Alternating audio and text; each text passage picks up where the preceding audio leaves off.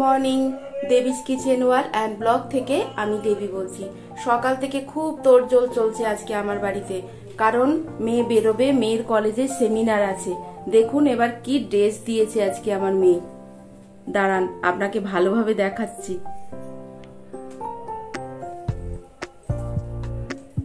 দেখুন, সকাল থেকে মেকআপ চলছে, আজকের আবার শাড়ি পরা চলছে। শাড়ি পরা হয়ে গেছে। শাড়ি পরাতে প্রায় এক ঘণ্টা লাগল। এবার কানের দুল।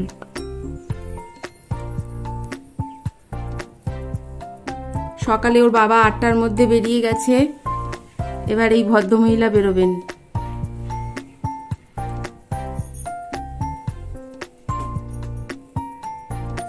এটা হচ্ছে ফাইনাল টাচ চলছে।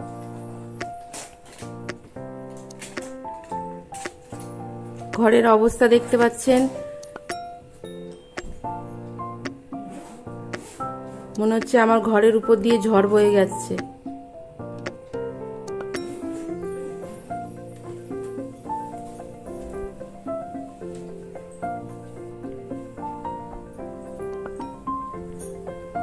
শাড়ি না পরলে যা হয়, সেরকম অবস্থা হচ্ছে আমার মেয়ের।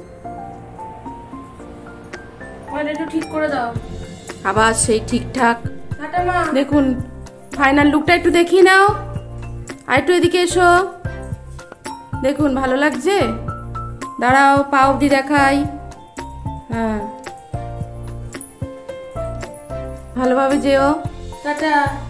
টাটা। মেয়ে বেরিয়ে গেল। এবার দেখুন ঘরের অবস্থা। দেখেছেন?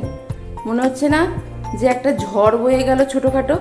এই দেখুন অবস্থা। ঠিক দেখেছেন? এগুলো এবার আমাকে সমস্তটাই গুছাতে হবে। তাহলে সব গুছাই? দেখুন, ঝড় যাওয়ার পরে এবারে সমস্ত ঝড়ের অবসান হয়েছে। দেখুন অবস্থাটা আমাদের ঘরের।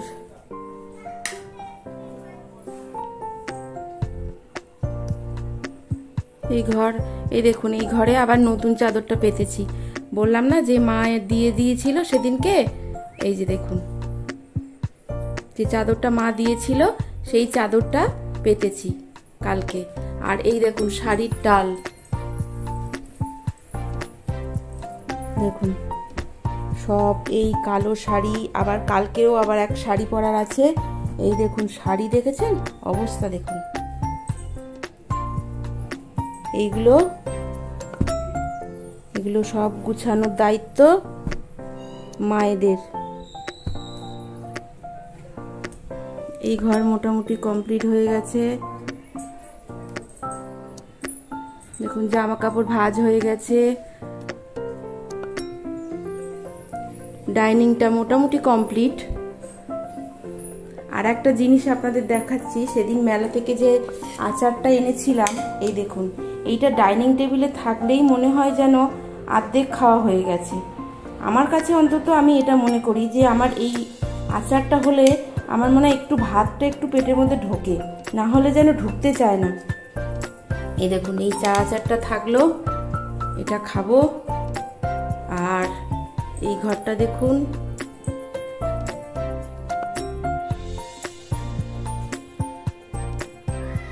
দেখুন, যন্তর মন্তরের বাক্স রয়েছে। একের পর এক ওষুধ দিতে থাকব যন্ত্রমন্ত্রের বাক্স থেকে। এটা হয়ে গেছে।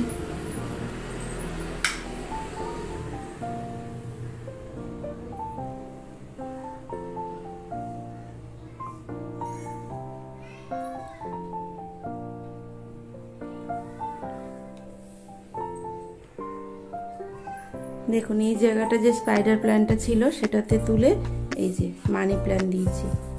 এদিকেও একটা দিয়েছি।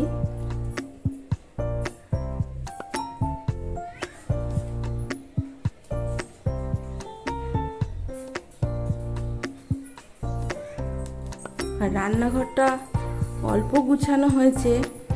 এবার কাজল এসে বাসন টাসন মাজলে আমার পুরো কমপ্লিট হবে। ঠিক আছে, আবার তাহলে ফিরে আসছি। দেখুন, আজকে দুটো চাদর কাঁচা হয়েছে। এবারে চলুন, এটা মেলে দিয়ে আসি।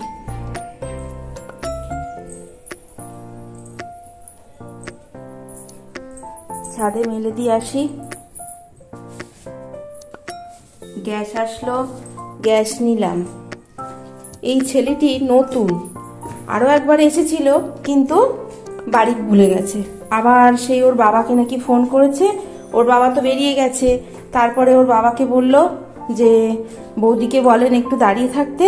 তারপরে আবার ফের এই বেল দিল যে, বৌদি, আমি তো দুবার এসছি, একবার এসছি তো আমি তো মনে ভুলে গেছি, তাই জন্য ছাদে উঠেছি না, হাঁপিয়ে গেছি। কি অবস্থা আমাদের, দেখেছেন? আবার তাদের গ্যাস খুলে দিলাম, খুলে দিয়ে জামা কাপড় মেলতে এসছি। আজকে বেশি কাচাকুচি হয়নি, সকালের দিকে জামা কাপড় সমস্ত মেয়ের আমার সমস্ত মেলে দেওয়া হয়ে গেছে। কাঁচা ধোয়া করে দুটো চাদর বাকি ছিল, সেই চাদরটা এখন মেলে দিই। এখন এখানে একটা মেলেছি আর এখানে একটা মেলেছি।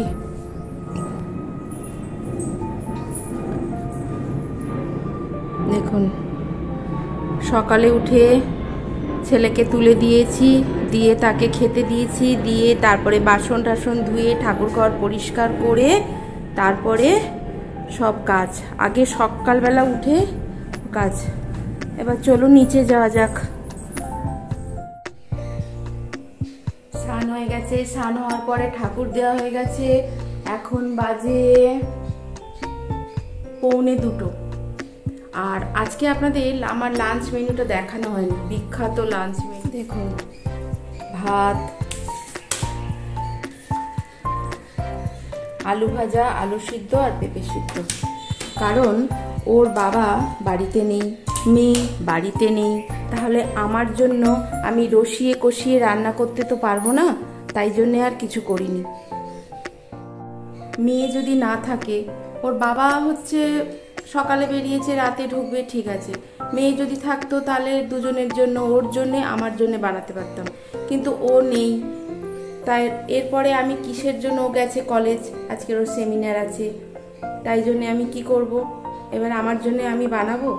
তাই জন্য না, দরকার নেই। এই দিয়েই আজকের আমি লাঞ্চ কমপ্লিট করব। আর আর একটা কথা বলে দিই। ঠিক পৌনে দুটো থেকে দুটোর মধ্যে আপনারা কিন্তু সমস্ত ঘরের জানলা, দরজা সব বন্ধ করে রাখবেন। কারণ চারিদিকে যা ডেঙ্গুর আরম্ভ হয়েছে, প্রায় মহামারীর মতন আরম্ভ হয়ে গেছে। তাই জন্য মশার হাতে বাঁচতে আপনারা চারিদিকে জানলা, দরজা বন্ধ করে দিন। আর মশার তেল ইউজ করুন। যেটা আপনাদের ভালো হয়, সেটা আপনারা করুন। তাতে সুস্থ থাকুন। দেখুন, আমি জানলা টানলাগুলো বন্ধ সব বন্ধ করে দিয়েছি। এবার এই জানলাগুলো বন্ধ করে দিই।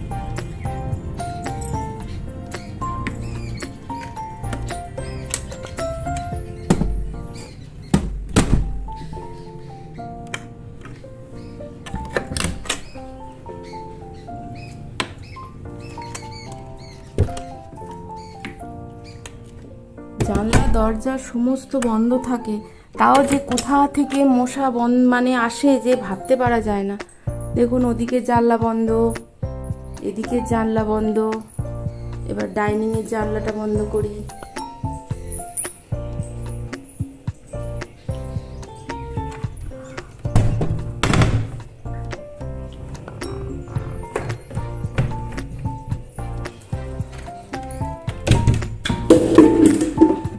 পড়ে গেল।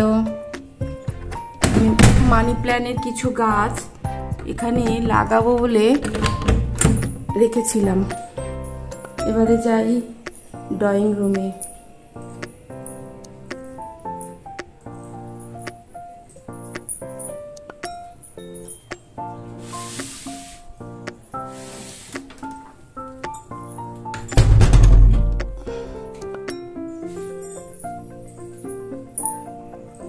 এবারে এই ঘরের জানলাটা বন্ধ করে দিই।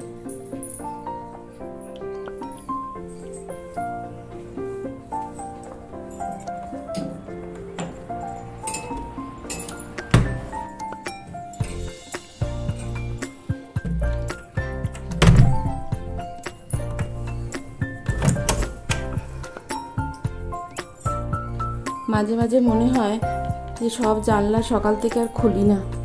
কারণ এই জানলা বন্ধ করতে করতে অনেকটা সময় চলে যায়। সব কমপ্লিট এই ঘর কমপ্লিট জানলা কমপ্লিট ডাইনিং ড্রয়িং রুম সব কমপ্লিট এবার কোথা থেকে মশা আসে আপনারা বলুন। এই যে মশার তেলটাও আমি জ্বালিয়ে দিচ্ছি। এই ডেঙ্গু থেকে বাচ্চাদের, বড়দের, বয়স্কদের সাবধান, কারণ খুব চারিদিকে হচ্ছে। ঠিক আছে? এবারে স্পেশাল মেনুটা এবার খেয়ে নিই গুড ইভিনিং বন্ধুরা। এখন বাজে পাঁচটা। আমি সন্ধেটা দিয়ে আসি। বাড়িতে পুরো একা। ভালো লাগছে না মনটা আজকে। তো পুজোটা দিয়ে এসে তারপরে আপনাদের সাথে আবার কথা বলছি।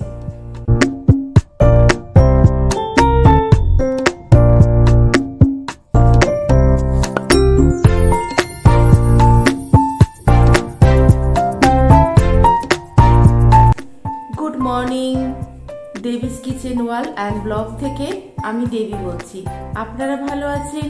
আমিও ভালো আছি। কিন্তু একটু কম ভালো আছি। কালকে থেকে যা চলছে আমাদের বাড়ির উপর দিয়ে যে সেটা কি বলব?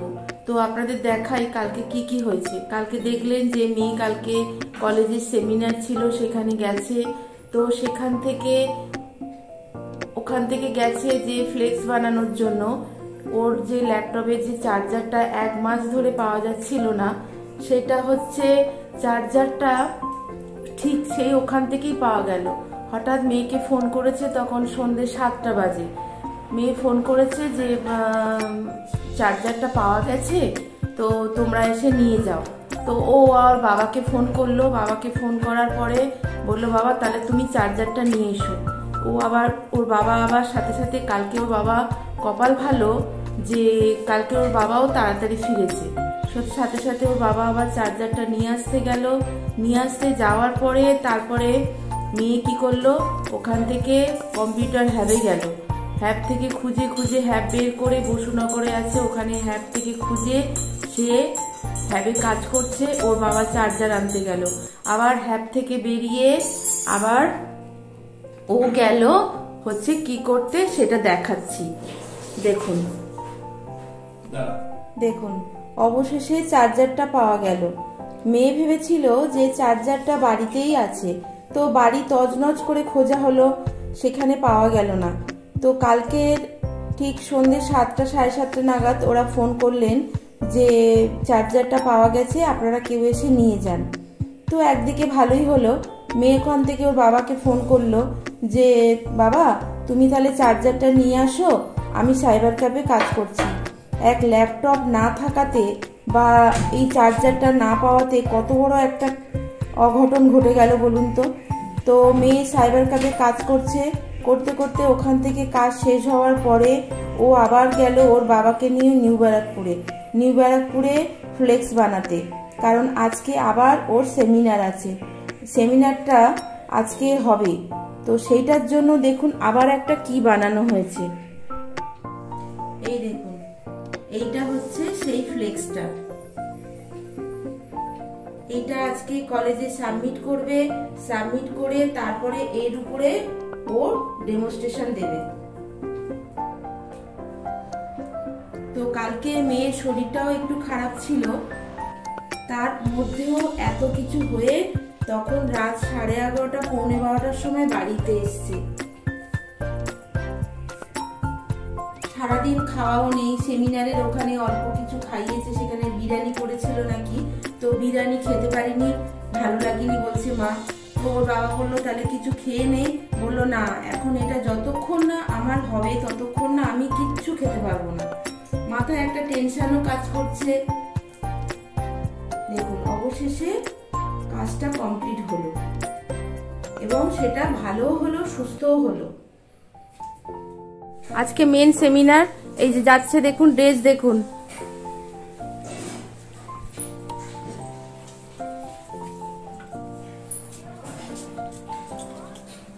কেমন লাগছে অবশ্যই জানাবে দেখুন, মেয়েকে কেমন লাগছে।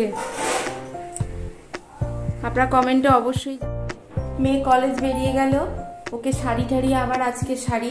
শাড়ি টাড়ি পরালাম, একটা সিনথেটিক শাড়ি পরিয়েছিলাম।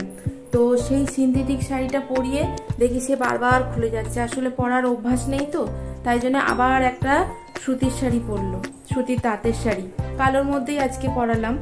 তো সেটা পরলো পড়তে পড়তে সে দেরি হয়ে গেল। ওকে গোছাতে গোছাতে আমার সমস্তটাই আজকে এলোমেলো হয়ে গেছে। আর আমি আজকে রান্না বান্না করেছি ওকে পে- আলু সিদ্ধ দিয়ে আজকে ভাত খাই দিয়েছি। দেওয়ার পর এবারে দেখুন ঘরের কি অবস্থা। দেখুন। এই কালো শাড়িটা পরেছিল। কারণ স্যার বলেছে যে যে কজন মেয়ে আছে, সমস্তটা মোটামুটি একই ধরনেরই হবে। তো যাই হোক, এইটা পড়ছিল। পড়তে পড়তে এদিকে খুলে যাচ্ছে, ওদিকে খুলে যাচ্ছে। আবার যদি বাই চান্স খুলে যায় প্রবলেম হয়ে যাবে। তো কালকে তো এই শাড়িটা পরেছিল তা যাই হোক, একটা সুতির শাড়ি পরে গেছে, আপনাদের সেটা দেখালাম। আর দেখুন আমার ঘরের অবস্থা। সব এলোমেলো। আর আজকে কাজল কেচে দিয়ে গেছে। এগুলো এবার উপরে গিয়ে মেলে দেবো। আর আপনাদের আর একটা জিনিস দেখাই। দেখুন, এই ঘরও গুছানো হয়ে গেছে মোটামুটি। ল্যাপটপের চার্জারটা আগে ওর ব্যাগে ঢুকিয়ে রেখে দিয়েছি। আর একটা দেখুন।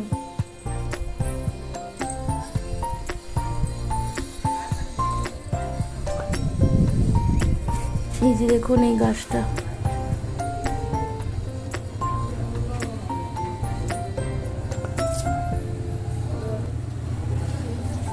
দেখছেন এই গাছটার কি অবস্থা হয়েছে? গাছটা এই গোড়া থেকে গাছটা পচে গেছে। এই দেখুন। আজকে না আমার খুব খারাপ লাগছে ওই গাছটার অবস্থা দেখে। গাছটা দেখেছে শীতকালে অবশ্য ওইটা নষ্ট হয়ে যায় মানে ভিতর ভিতরে গাছগুলো পচে যায় আর কি। তো সেই গাছটা ধনতেরাসের দিনকে নিয়ে এসেছিলাম ঘরেতে। ওকে লাগিয়েছিলাম। তো এখন বারান্দায় রেখে দিয়েছি। এত খারাপ লাগছে যে আমার মানে মনে হচ্ছে কি যেন হারিয়ে গেল। এত কষ্ট লাগছে। কালকের থেকেই, কালকে বিকালেই ওটা যখন আমি দেখেছি যে পাতাগুলো শুকিয়ে যাচ্ছে, তো আমি কেটে দিই গাছগুলো, গাছের পাতাগুলো।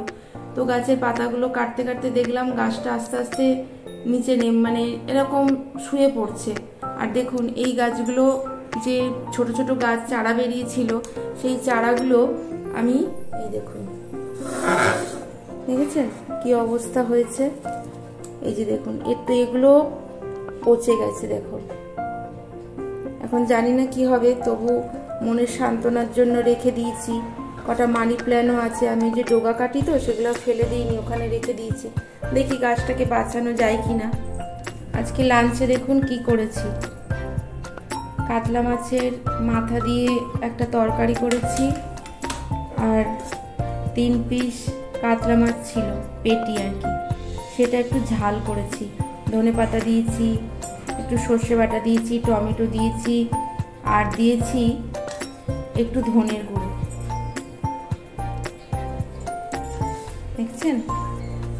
কালারটা সুন্দর এসছে না? একটা পাকা লঙ্কা দিয়েছি। আর এদিকে আছে ভেন্ডি ভাজা আর পেঁপে আলু সিদ্ধ। ব্যাস, এই আজকে আমার লাঞ্চ মেনু। দেখুন, এখানে ভাত বসিয়েছি। ঠান্ডা পড়তে না পড়তেই গরম গরম ভাত খাওয়া শুরু হয়ে গেছে। আর এখানে দেখুন, একটু লোটে মাছ নিয়েছি।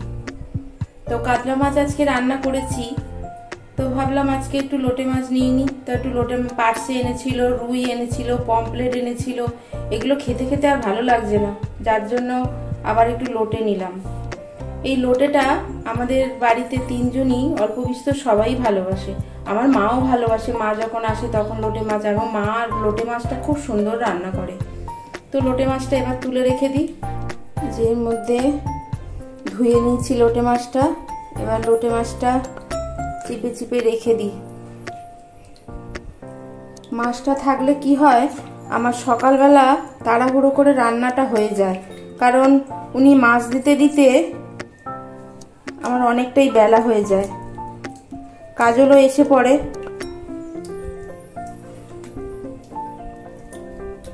আপনারা জানাবেন তো কমেন্টে কে কে আমার মতন এরকম লোটে মাছ খেতে ভালোবাসে।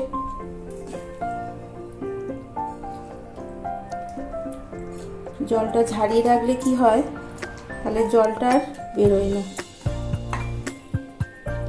ব্যাস।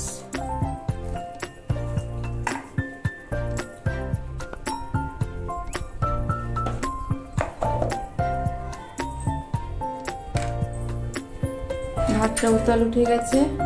ভাতের উপরে একটু গরম জল রেখে দিই। যাতে জলটা গরম হতে হতে ভাতটা তাড়াতাড়ি ফুটে যায়। ঠিক আছে, ভাতটা করি। দেখুন, সুজি আর চিনিটা ভিজিয়ে রেখে দিয়েছিলাম, ভিজে গেছে। এরপরে এর মধ্যে দেখুন, এই কাপের এক কাপ ময়দা দিয়ে দেবো। ময়দা দিয়ে এবার একটু আমি মেখে নেব।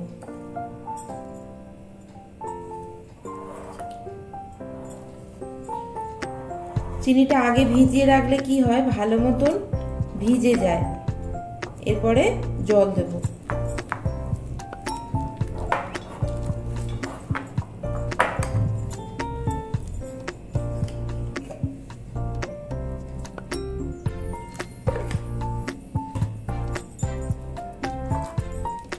জল দিয়ে এবার একটু ঘেটে নেব এটা। গোলাটা ঠিক এই পজিশনে থাকবে। খুব একটা গাঢ়ও না, আবার খুব পাতলাও না। আর এখানে যে ক্ষীরটা তৈরি করে রেখে দিয়েছিলাম, এইটা এবারে দেব। এবারে চলুন। দেখুন, প্যানটা গরম হয়ে গেছে। এবারে এরকম একটা তুলির সাহায্যে এটা আমি একটু লাগিয়ে নেব, ব্রাশ করে নেব। অবশ্যই এটা সাদা তেল দিয়ে করবেন। এই যে দেখুন, সাদা তেল দিয়ে করছি।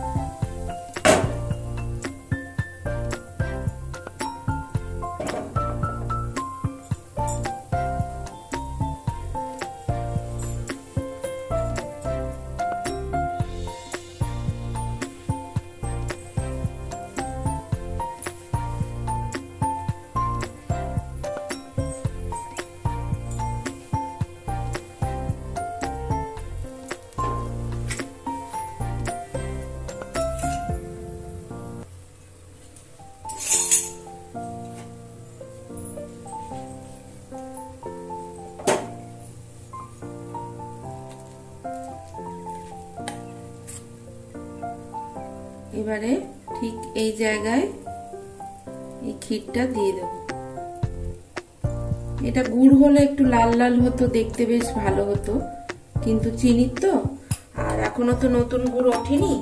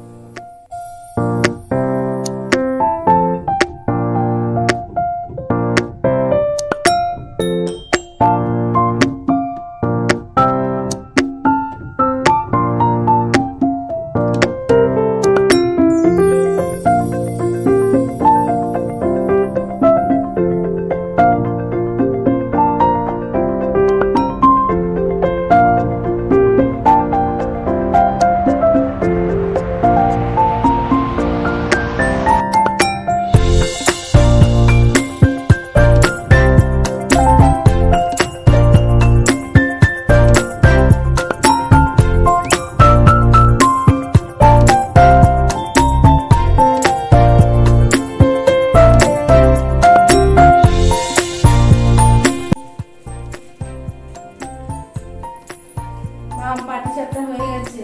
হুম। ঝটপট কি সুন্দর পাটি সাপটা বানিয়ে নিলাম।